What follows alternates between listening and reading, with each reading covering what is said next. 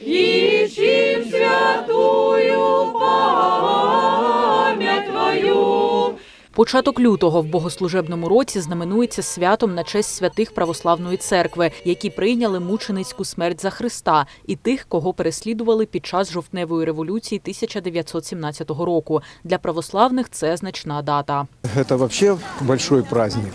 Э, Это все пострадавшие за веру, за Христа. Вот. Поминали мы их, молимся этим святым. И батюшки, он за веру пострадал практически. Это очень великий праздник для нас, для всех христиан.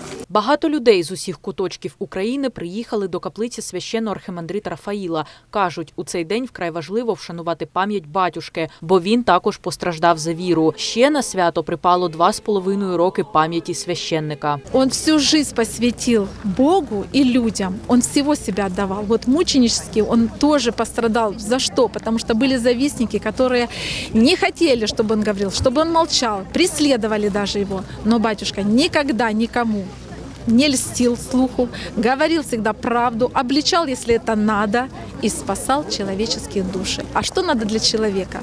Попасть в Царство Божие, Святый мучениче, состатевший царю неполный, Віряни розповідають, що за життя батюшка Рафаїл давав благословення на весь рік на самому його початку. Зараз традиція зберігається. Для кожного присутнього підготували особливу цукерку із цитатою із проповідей архимандрита. Люди кажуть, що отримують ті висловлювання, які корисні для душі. Как раз вот такая конфетка досталась с его таким благословением, что пост именно очищает душу и сердце. Это именно то, что вот я просила и, о чем я всегда прошу Господа Бога и Батюшку, Его святых молитв. Зберігають тут іще одну традицію смаколики для гостей. Віряни кажуть, біля каплиці священника завжди відчувають себе добре та спокійно. Получаю от него очень большую помощь. Настолько, что у меня просто не хватает даже вот слов, чтобы поблагодарить, высказать все то доброе, что я получила здесь. Я приезжаю сюда, я нахожусь, ну, как на небе, как в раю. И привожу, и домой я это привожу. Мне очень-очень тепло здесь, уютно. Я получала столько раз помощи. Недавно у меня заболел зуб. Говорю, батюшечка, миленький зуб заболел. Все, я за него забыла.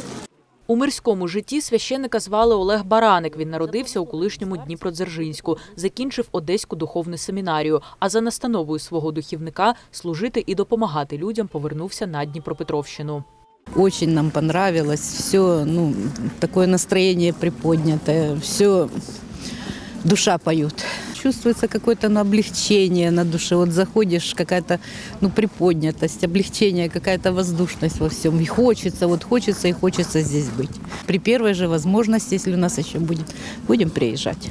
Каплиця священного архімандрита Рафаїла знаходиться у селі Свято-Василівка Солонянського району Дніпропетровської області. Майже кожні вихідні та на всі свята до нього навідуються люди, аби віддячити за допомогу, поділитись своїми печалями та помолитись.